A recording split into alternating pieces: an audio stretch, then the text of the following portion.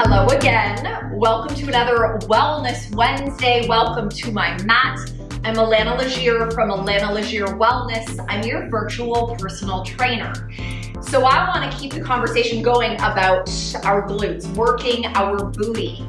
We as a whole, we're very quad dominant. We, we walk with our quads, we really use the front of our legs, but I wanna continue to bring that connection to you from those glutes, which will translate up into beautiful posture and confidence, our core strength.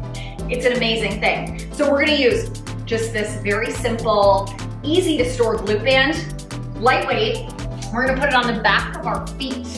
So I want us to get on all fours on our mat. Now, let's push our weight into the palms of our hands. Notice where your hip bones are. Are they square? I want you to envision I'm there with you.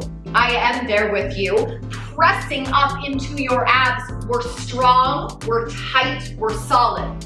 We're gonna push, heel behind us like we're kicking the wall.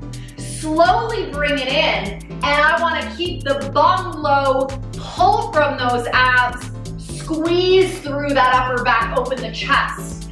I want us to do 15 kicks each side, slow and controlled. I want you to feel the bump right where the leg and that booty connect. We're gonna do those paired with those glute bridges we did last week. Remember that band up above our knees where we lift, push through the heels and press away. I wanna feel some heat through that booty so we can boost our confidence and put on those jeans, showing off your beautiful hard work. I will see you next Wednesday on our mat.